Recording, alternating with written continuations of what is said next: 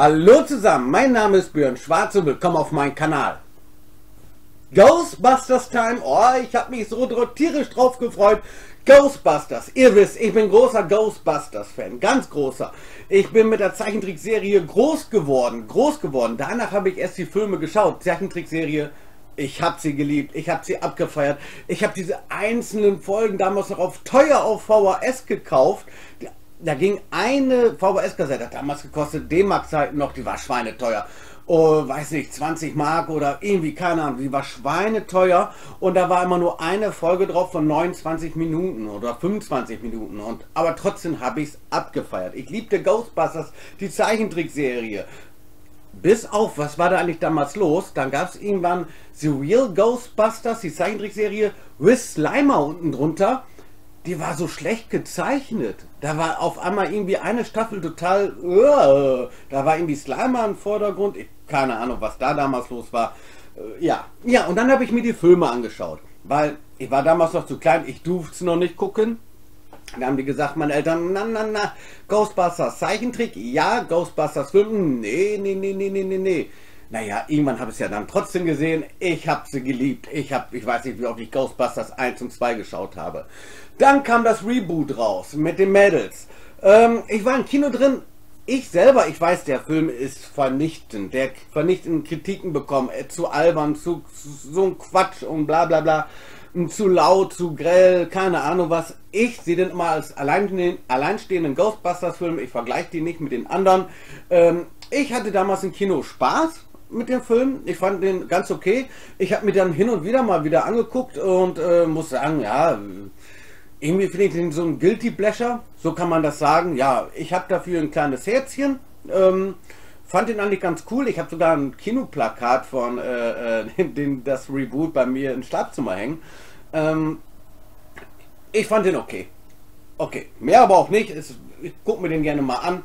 Ähm, es nachvoll nachvollziehen, alle Ghostbusters-Fans haben den Schlag in die Fresse gekriegt, aber trotzdem habe ich so ein kleines Herzchen für Ghostbusters Reboot. Und dann hatten wir 2021 ja von äh, Jason Reitman ähm, ja den, den dritten Ghostbusters-Film äh, bekommen, äh, Ghostbusters Legacy.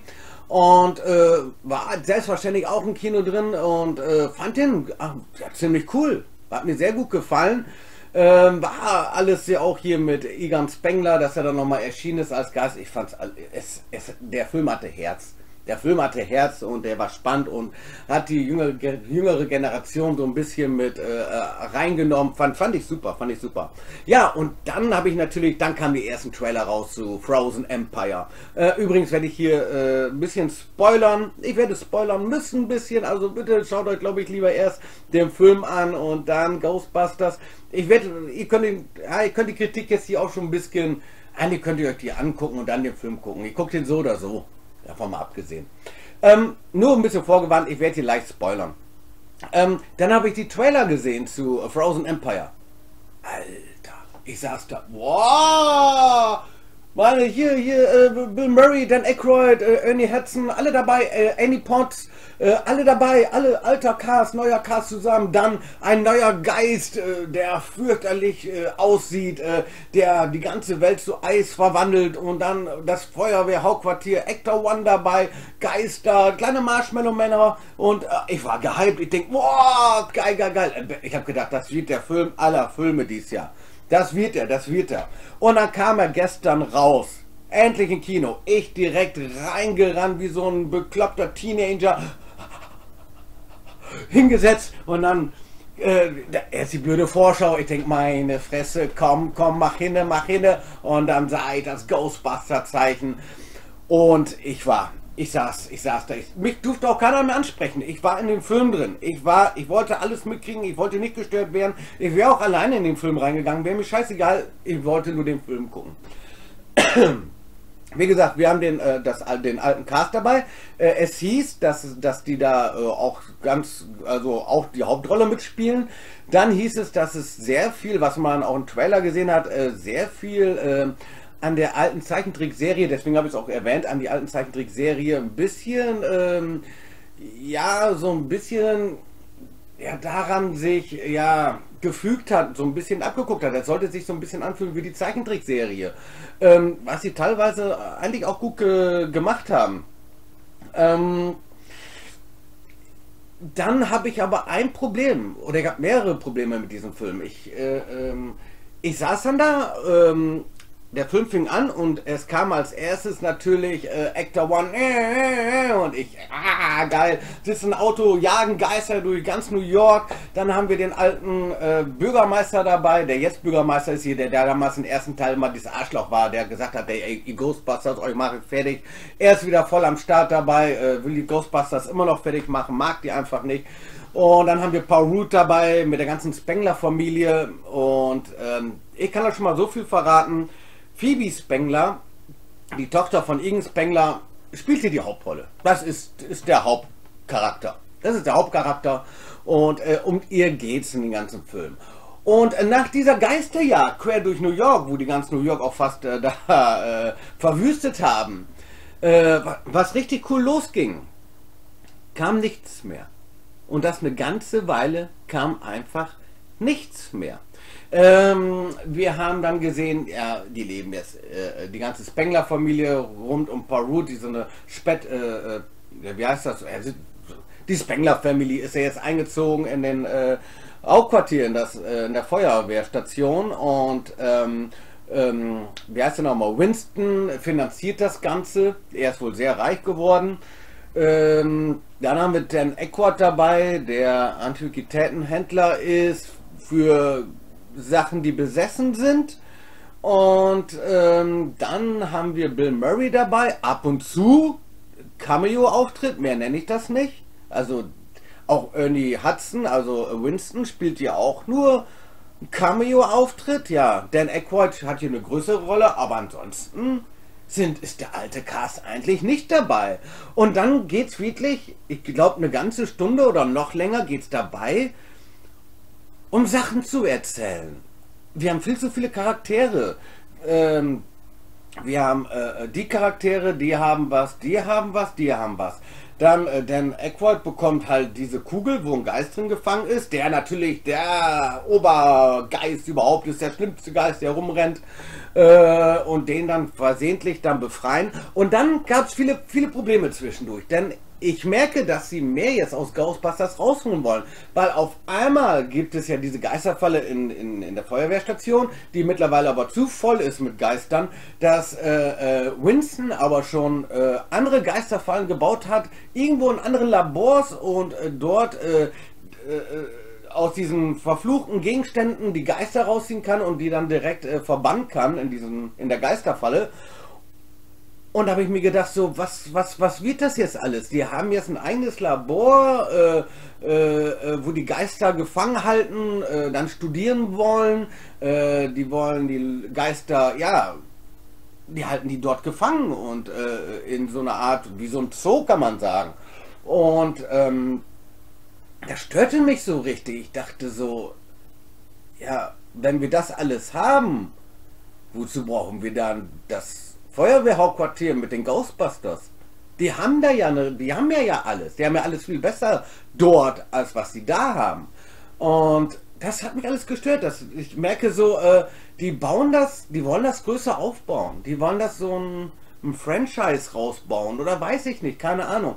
Das hat mich alles sehr gestört. Ich denke, das, das ist mir alles zu viel, das geht mir zu schnell, weil es wird auch so erklärt äh, nach dem Motto, ja, guck mal, ihr, die, die Geisterfalle oder unsere, unser äh, Geistercontainer ist voll und dann sagt äh, Winston, ach, ihr wisst es ja noch gar nicht, ich habe neue gebaut. Und so nach dem Motto so, ja, da, ich habe da mal was vorbereitet, da ist es auf einmal. Hä? Warum und weshalb und wieso? In Legendary haben sie das alles noch so, äh, guck mal, das sind die alten Geisterfallen, das und dies, da wurde auch alles schön erklärt, da haben die sich erstmal, sind erstmal drauf, drauf, äh, drauf gekommen, wie die Protonstrahler, wie die funktionieren und so weiter und so fort. Und auf einmal haben die jetzt in diesem Film alles besser und, und, und so weiter und so fort. Es war mir alles zu viel und das waren Gequatsche. Wir hatten zwischendurch auch gar keine Geister mehr. Wir hatten wohl äh, Slimer, Fand ich schön, den mal wieder zu sehen, Slimer. Und den hatten wir da ab und zu. Ähm, äh, ansonsten haben wir die kleinen Marshmallow-Männer, äh, die wir auch in, in, in den letzten Teil hatten. Die finde ich so ein bisschen Minions-Ersatz, oder? das hat mich sehr an Minions erinnert. So nach dem Motto, die hauen wir noch mal rein, die sind klein und süß und die bringen die Leute zum Lachen und die können wir gut verkaufen. Ja, ja. Und dann haben wir da so, ja, und dann kommt nachher, der, natürlich befreien die diesen Geister, dieser, diesen Geist, der die Welt äh, vereisen möchte, äh, will natürlich die Menschheit vernichten. Warum und weshalb habe ich vergessen. Der war sauer, weil die Menschen den gefangen haben. Warum war mir dann auch im Grunde shit egal. Und dann äh, alles, was wir in diesem Trailer gesehen haben, das ist eigentlich der, das Ende von den ganzen Filmen gewesen. Die letzte halbe Stunde kann man sagen, äh, passiert erst alles das, was wir im Trailer gesehen haben. Dass, dass, dass, äh, dass das Eis am Meer äh, erfriert, dass die äh, ganzen Eiszapfen aus der Erde kommen und so weiter und so fort. Das sehen wir in der letzten halben Stunde. Und dann, wenn das Monster in der Feuerwehrstation äh, angreift, ja, das ist immer noch das Beste. Das Ende, der Kampf also so was Lächerliches habe ich lange nicht mehr gesehen. Muss ich, ich muss ganz ehrlich sagen, dass ich, ich, ich war entsetzt. Es war, ich war entsetzt.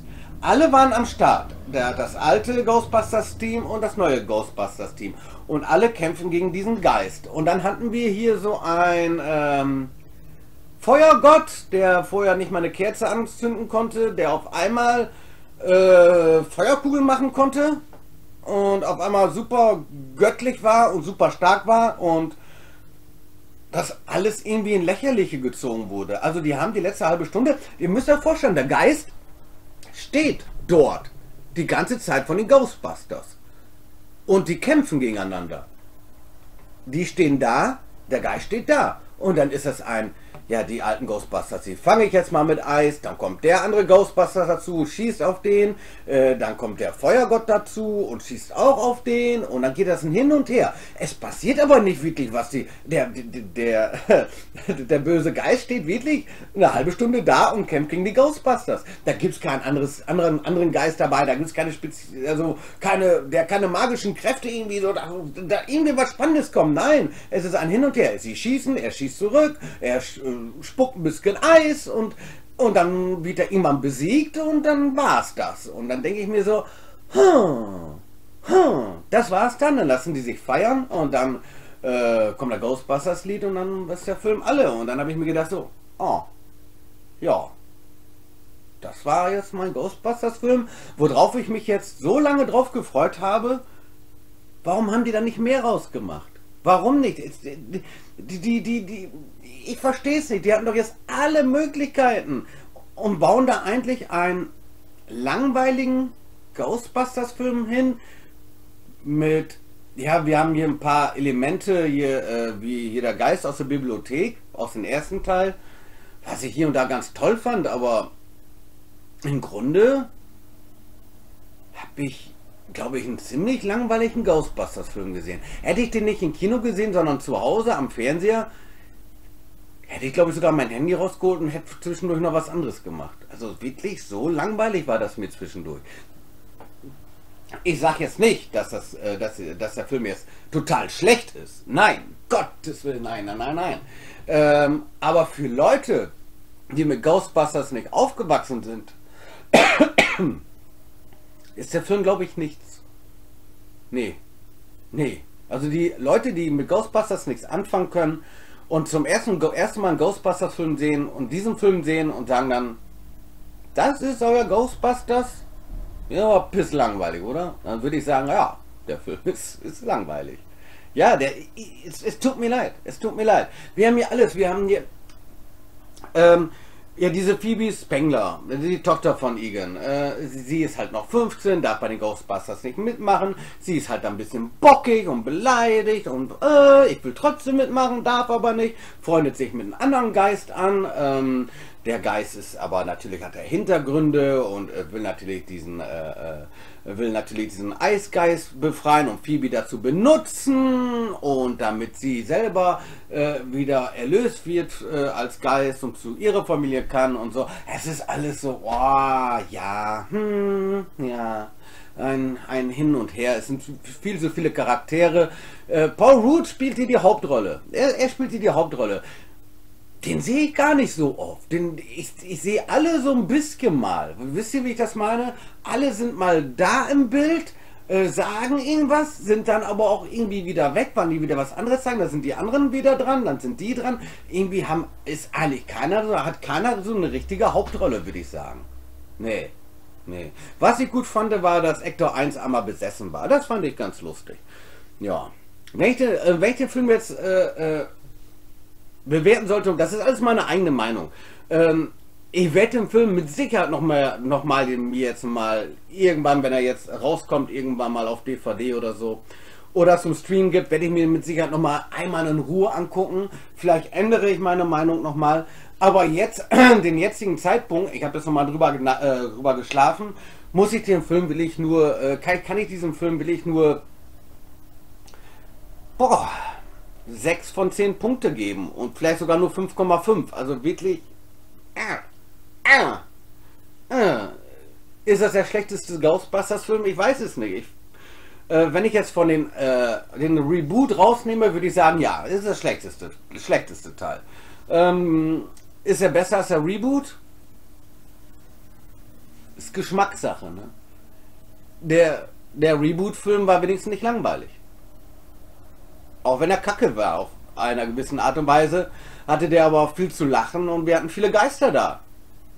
In diesem Film haben wir viel blob blob blob, blob blob blob, blob blob blob. Vieles wird einfach nur erklärt. Vieles wird einfach nur erklärt. Ja. Ja. Ja. Wie gesagt, 5,5 bis 6 Punkte gebe ich diesem Film. Ähm, vielleicht sieht das in ein, zwei Jahren besser aus, dann sage ich vielleicht, äh, der kriegt vielleicht 7 Punkte, aber der wird nie ein Highlight-Film werden. Auf jeden Fall nicht. Ich war ein little bit äh, enttäuscht. A little bit. Ja.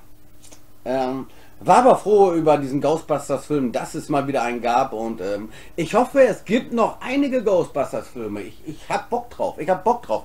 Die, äh, es, vielleicht lernen die, die, die, dieser Film wird keine guten Kritiken bekommen. Glaube ich nicht. Glaube ich nicht. Ähm, bin ich, glaube ich nicht. Ich glaube, der wird auch nicht zerrissen, aber ich glaube, das wird so ein okay Film. Und ich glaube auch, äh, dass es noch einen weiteren Ghostbusters-Film geben wird mit diesem Cast.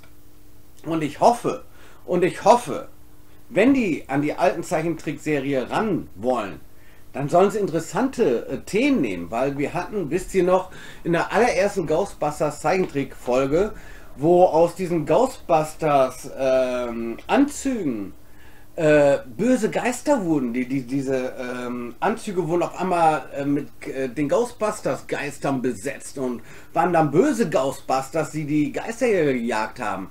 Sowas hätte ich mal gerne gesehen. Dann hatten wir damals in der Ghostbusters-Serie den Sandmann, der richtig gefällig war, der die ganze Welt äh, äh zum Schlafen gebracht hat. Wir brauchen mal so einen richtigen, äh, äh, wo der Geist mal wieder richtig ähm, äh, äh, Charaktere hat, so wie Vigo in den zweiten Teil. Oder Buser, wie hieß der im ersten Teil? Ich weiß gar nicht mehr. Der hatte es war Handlung dahinter, warum er das jetzt hier, dieser Geist war neu, aber er war nicht interessant. Mir war es egal, ob der nachher besiegt wird oder nicht. Äh, wie, aber, aber sowas wie den Sandmann oder keine Ahnung, es gab so viele Charaktere da drin, äh, die auch immer wieder gekommen sind, da hätte ich gerne mehr von gesehen. Mal so, nimmt doch mal einfach so einen so Geist aus der Zeichentrickserie. Ich weiß auch nicht, ob man das darf, ich weiß nicht, wo die Rechte da alle liegen, aber darauf hätte ich Bock gehabt. Es gibt so, es gibt so viele gute äh, Folgen von den Ghostbusters, äh, dass man da wirklich mal was rausgesucht hätte können. Ja, das ist meine eigene Meinung. Genau. Ja, das war meine Kritik zu Ghostbusters Frozen. Ähm, meine nächste Kritik wird, wird, eine ganz spezielle Kritik werden, denn äh, ich habe mal wieder einen sehr speziellen Film geschaut. Äh, falls ihr das nicht verpassen wollt, dann abonniert gerne den Kanal. Ansonsten wünsche ich euch alles Gute. Man sieht sich. Bis dann. Ciao.